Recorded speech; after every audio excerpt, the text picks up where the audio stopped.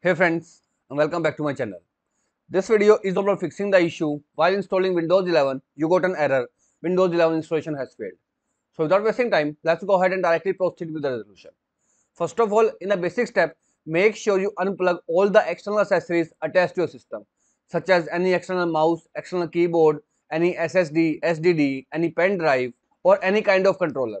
This is a mandatory step so make sure you must unplug all the external accessories from your system and then try to install the Windows 11 and hopefully the issue will be fixed for most of the users. Now if this failed to work out, next step first of all open up your browser and you need to download a tool with the name Rufus.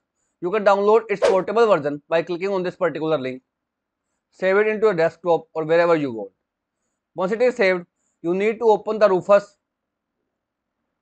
Now right over here, first of all click on the option yes. Now the benefit of clicking the yes is that you will get this down arrow key. When you click on this down arrow key, you will find the option of download. If you do not have an ISO file, click on the option download and it will help you download. If you do not have Windows 11, go ahead and download it. Now click on the option select and provide the path of your Windows 11. Once selected, under the image options, so choose standard Windows installation and now you need to select the partition style. And to check, right click on start menu, choose option run and type MS-Info32 and hit the enter key. Now over here, if your BIOS mode is UEFI, you need to select GPT. If your BIOS mode is legacy, you need to select MBR. My BIOS mode is UEFI, so I'll select GPT. Once it is selected, here is the major change that you need to perform.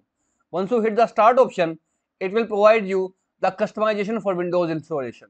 From here, you need to uncheck each and every option available right over here and then click on the option OK. This is the major reason behind the failed installation of Windows 11.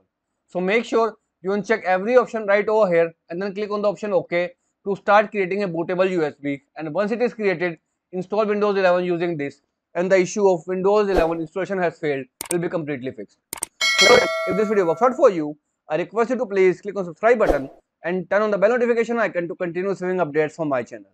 Thank you so much friends. Thank you for watching.